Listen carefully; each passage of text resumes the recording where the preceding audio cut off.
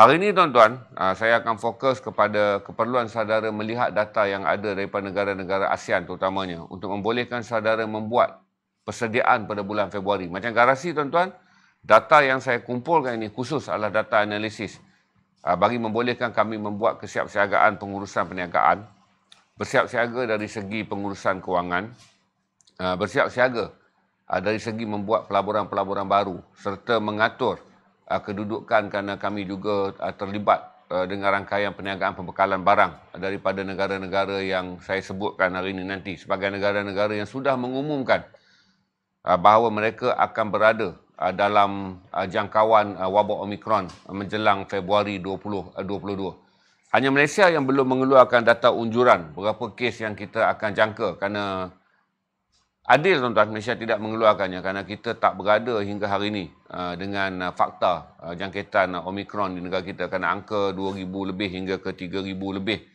adalah angka yang telah menunjukkan kita berada dalam prestasi 50% lebih baik daripada 3 bulan dulu.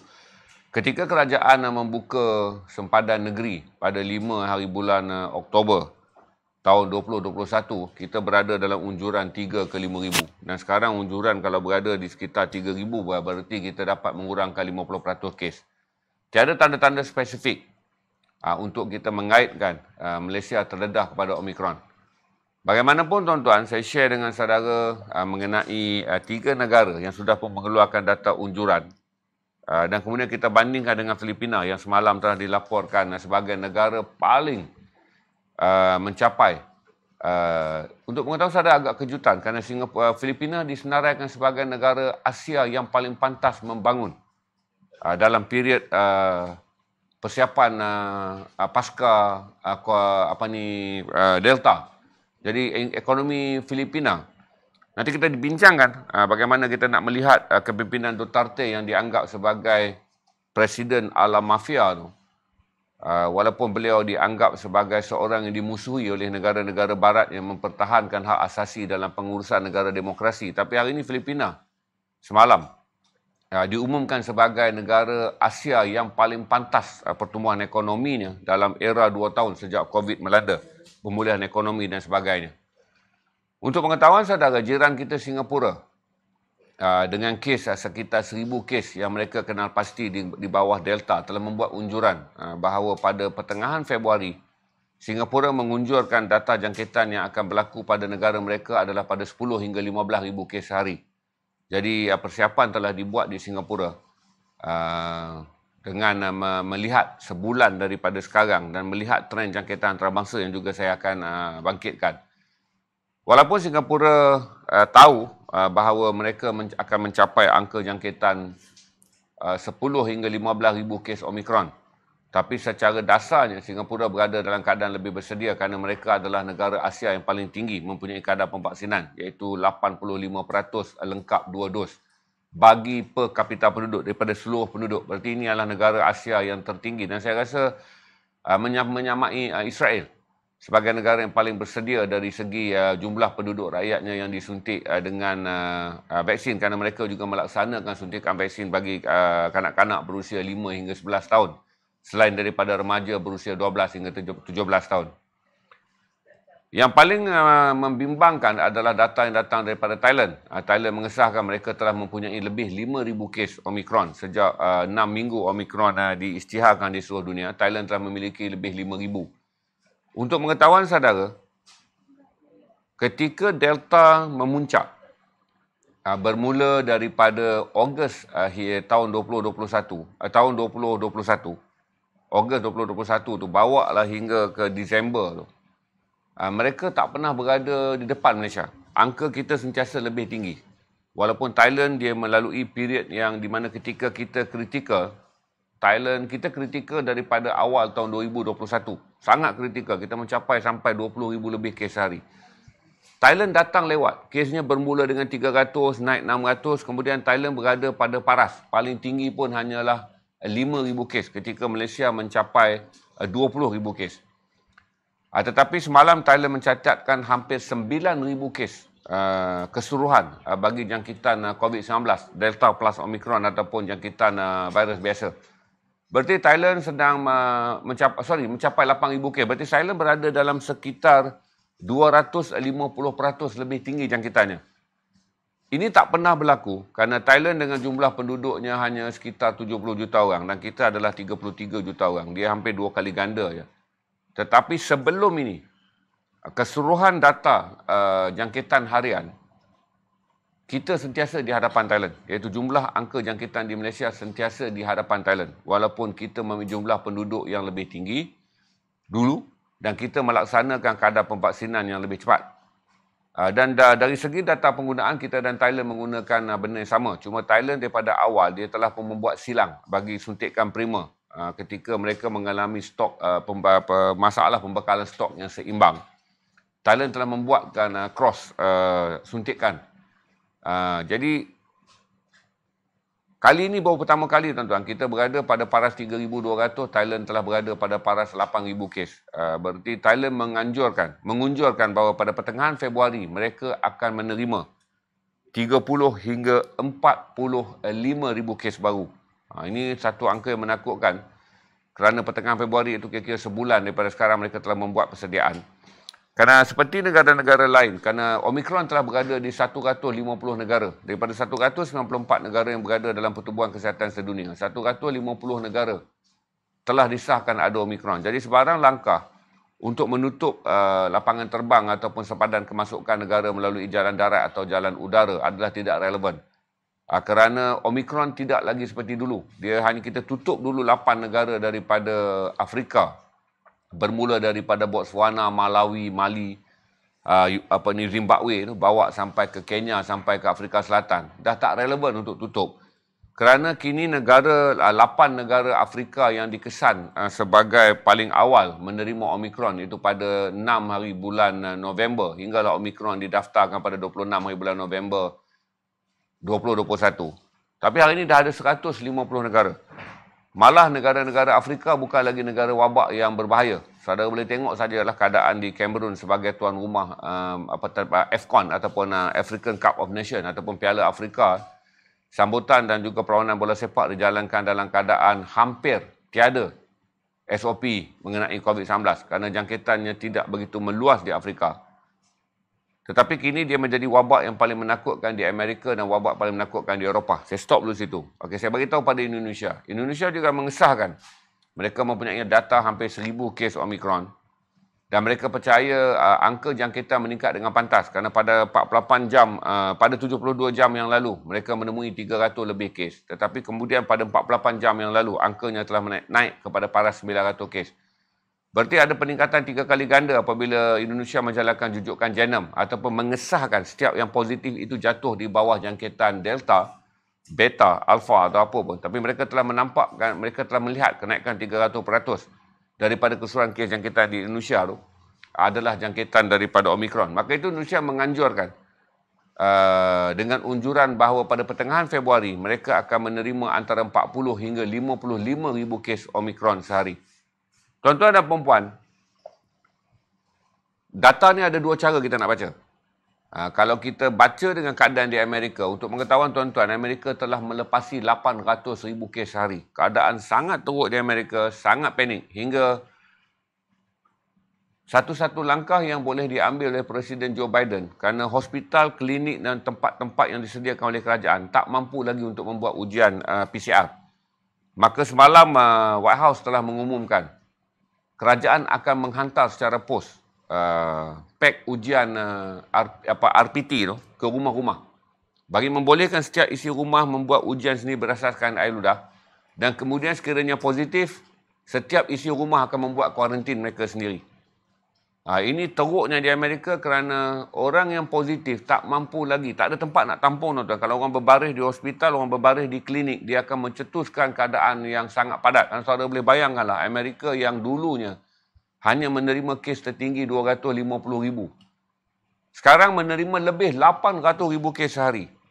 Ha, dengan kadar kematian telah mencapai 1,700. Hari itu saya dah tulis uh, Amerika menuju 1,000 kematian tu. 100, uh, 1 juta kematian daripada 817. Dalam tempoh 6 minggu, Amerika telah menerima 33,000 kematian baru. Mereka telah melangkaui angka kematian uh, 850,000 orang.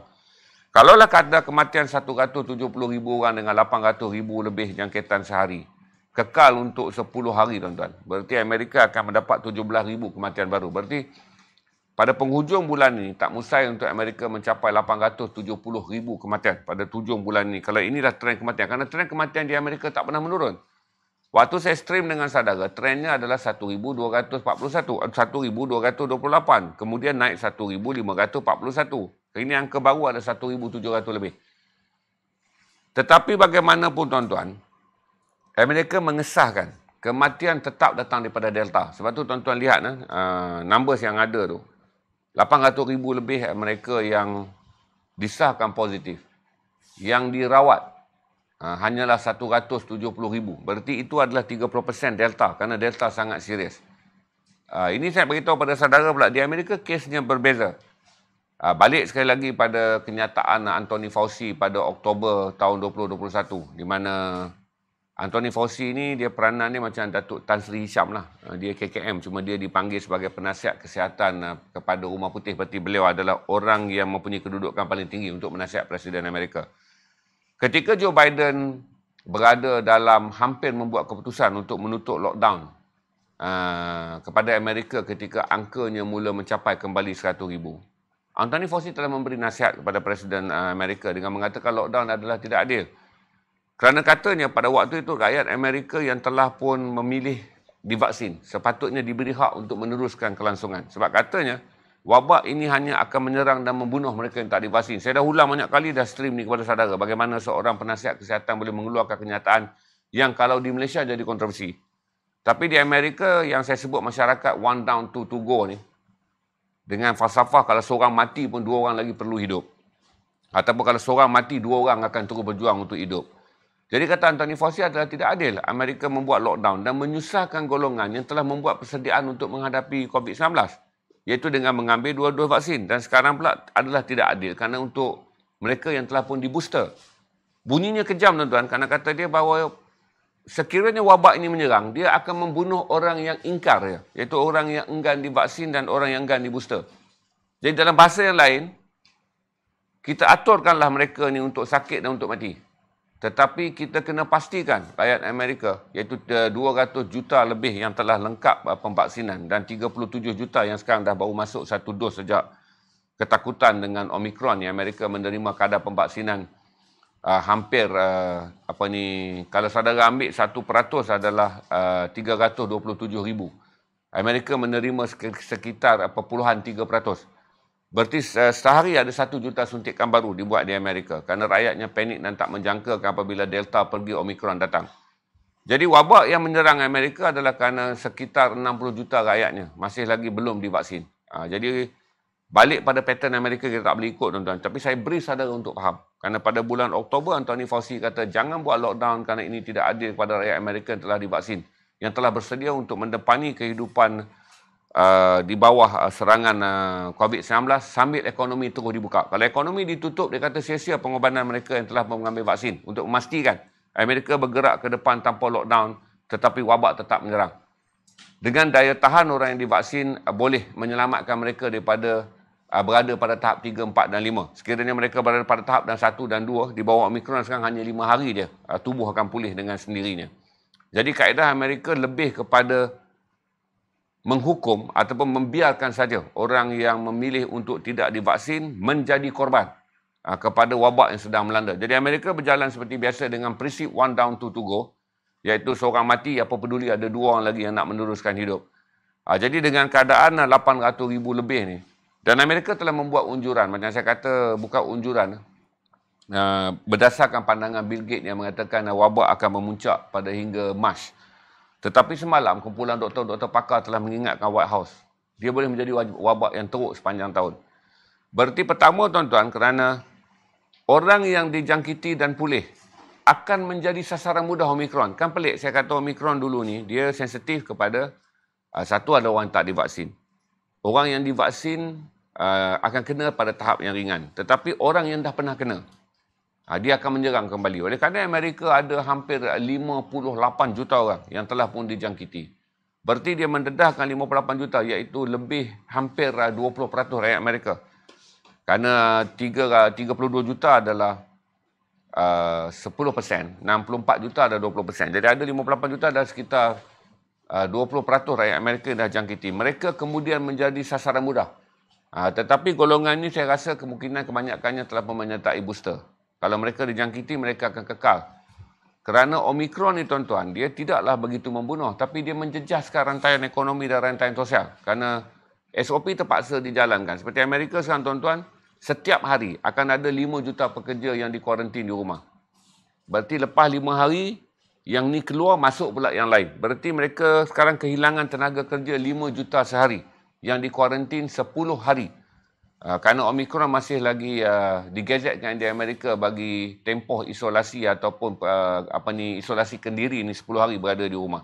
Tapi dengan jumlah yang ramai sekarang hingga kerajaan menghantarkan uh, pit uh, ujian uh, positif menggunakan air ludah ni rumah ke rumah kerana tak mampu lagi hospital dan doktor pun dah tak ada nak buat test kerana doktor terpaksa fokus kepada 150 ribu orang sehari yang masuk ke hospital dengan uh, simptom yang berat.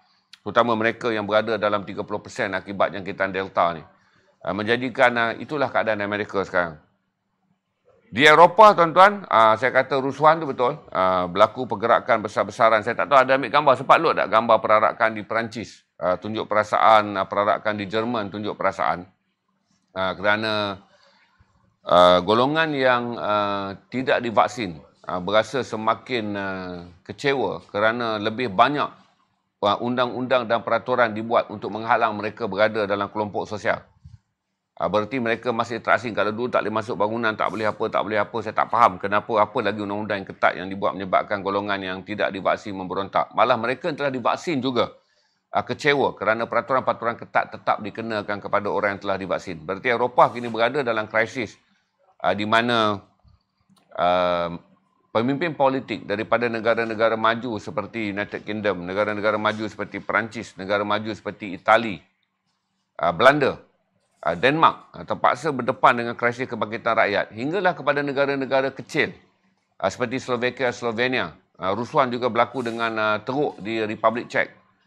Uh, kita tak tengok lagi tuan-tuan data-data yang datang daripada keseluruhan 44 negara di Eropah. Kerana negara Eropah ni adalah negara dengan adalah benua dengan 44 negara, hanya 27 saja ah, anggota kesatuan EU. Amerika Latin ada 35 buah negara. Kalau kita tengok sekarang ni hanya Kanada dan Amerika saja kelihatan uh, panik. Uh, tetapi negara-negara lain nampak uh, tiada data dan tiada laporan eksklusif yang dihantar kerana begini tuan-tuan, oleh kerana COVID melanda 150 negara, syarikat-syarikat berita antarabangsa pun tak boleh mengumpulkan semua data daripada semua negara kerana kekurangan kaki tangan di bilik berita untuk memantau keseluruhan data.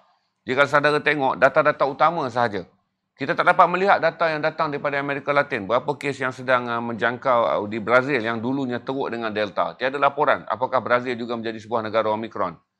Apatah lagi negara-negara kecil seperti Honduras, San Salvador, uh, Ecuador, Peru, negara-negara seperti apa ni uh, Argentina, Chile, tiada laporan mengenai kedudukan Omicron di sana. Jadi saya pun tak boleh share dengan saudara. Cuma saya share hari ini adalah tiga uh, negara yang berada di sekitar Malaysia telah membuat unjuran.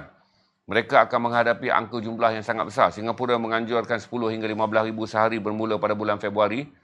Thailand menganjurkan 15 hingga 30 ribu kes menjelang pertengahan hingga Februari. Indonesia menganjurkan 40 hingga 55 ribu kes sehari di bawah Omicron. Kerana wabak ini bergerak dengan begitu pantas dan data menunjukkan mereka telah mempunyai jangkitan komuniti yang sangat luas. Nah, itu berbeza dengan Malaysia. Kebanyakan kes yang kita dapat hanya satu saja di Sarawak jangkitan komuniti. Satu kepada empat dan kemudian menjadi tujuh. Manakala lain-lain kes yang telah pun digazetkan sebagai Omicron di Malaysia adalah jangkitan yang dapat dikesan daripada pengembara iaitu rakyat Malaysia yang pergi ke luar negara uh, dengan majoriti 60% adalah mereka yang pulang daripada Mekah kerana menunaikan umrah. Jadi mereka ni disahkan positif mendapat uh, mendapat uh, apa ni jangkitan uh, ketika menunaikan ibadah umrah. Di Indonesia pun sama tuan-tuan. Angka yang paling tinggi adalah uh, mereka yang pulang daripada Arab Saudi. Manakala sebahagian daripada negara yang disebut tu disebut Arab Saudi, Amerika Syarikat, Turki dan Malaysia. Termasuk rakyatnya yang pulang daripada Malaysia juga disahkan sebagai salah satu daripada lima negara yang menyumbang kepada ke rakyat Indonesia yang pulang dari negara luar yang membawa bersama mereka adalah Omicron. Jadi ini data yang saudara perlu faham untuk mengatur kehidupan saudara. Saya macam advice saudara uh, walaupun tiada data yang kita boleh ambil daripada KKM kerana berdasarkan data yang kita ada kita sangat safe. Uh, kita berada dalam zon selesa kerana dengan 3000 berarti kita masih lagi tiada nampak ada jangkitan yang luar biasa dan kluster-kluster Omicron yang kita alami sekarang ni masih lagi jangkitan di bawah uh, Delta. Tapi tuan-tuan dan puan dengan 3,000 kes, uh, kita masih ada 90,000 kes sehari. Uh, sebulan. Berarti masih lagi tinggi angkanya. Sebab dah kita naik ke 2.8 juta perlahan-lahan. Kalau sebulan 90,000 orang tuan-tuan, uh, kita akan naik pula pada 29 juta. Kepada 3 juta. Berarti kita mungkin menyambut uh, hari raya uh, dengan total angka jangkitan adalah 3 juta orang. Dan pada masa yang sama tuan-tuan kita bersyukur kerana angka kematian di negara kita telah bergerak pada paras uh, 20 ke 30 sehari. Ada hari kita hanya ada belasan sahaja kes kematian. Tapi bagaimanapun tuan-tuan kerana wabak ini telah mengajar kita. Uh, dia datang uh, seperti uh, ribut. Uh, jadi berarti kita kena bersedia kerana gelombangnya uh, boleh berlaku pada bila-bila masa. Saya tak fikir KKM uh, perlahan dalam kes ni. Tapi saya fikir kata Indonesia telah mengumumkan. Uh, saya, ter, saya kerana Uh, mindset dan juga struktur uh, mereka yang mengendalikan isu kesihatan di Thailand, Singapura dan Indonesia adalah sama. Uh, di mana ketiga-tiga negara telah mengeluarkan kenyataan dengan lebih awal untuk mengingatkan rakyatnya bahawa ini adalah angka yang telah dijangka uh, akan berlaku uh, pada 15 uh, Februari, pertengahan Februari uh, tahun 2022.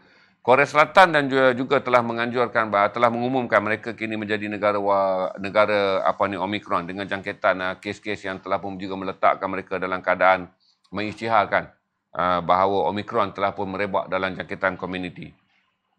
Uh, Malaysia antara kekal uh, antara 20 negara yang terbaik di dunia dari segi pelaksanaan vaksin kerana kita satu-satu negara yang boleh membuktikan kepada dunia kita mencapai 99% ataupun 23 juta uh, rakyat dewasa yang telah pun committed uh, untuk uh, yang telah committed paling tidak satu dos. Secara keseluruhannya tuan-tuan kita boleh mencapai 80% walaupun kita tidak mem, uh, tidak menghitung uh, jumlah 5 hingga 11 tahun kanak-kanak yang disuntik tapi 12 hingga 17 18 hinggalah uh, kumpulan hayat paling tua di Malaysia ni kita telah mencapai 78% lebih. Uh, tapi saya jangka kita akan mencapai 80% pada penghujung bulan Januari. Dan ini meletakkan dari segi uh, herd immunity atau masyarakat kebal tu kuat. Uh, tapi sebenarnya tuan-tuan yang telah divaksin di Malaysia 8.2 juta orang yang telah menerima booster. Mereka yang telah dibooster adalah 8.2 juta orang. Orang-orang ni semua meneruskan kehidupan seperti biasa. Saya percaya dengan uh, usaha kerajaan melaksanakan PPV Mega. Pada penghujung bulan ni kita akan mencapai 10 juta orang. Kalau kita kekal dapat menyuntik uh, daripada sebelum ada PPV Mega, kita menyuntik 60 ribu orang booster sehari sebab pembaksinan uh, biasa prima ni dah dah tinggal sikit je sebab kita melangsungkan prima dengan baki 10% uh, golongan remaja yang belum lagi menerima satu dos suntikan prima pun iaitu 320,000 orang.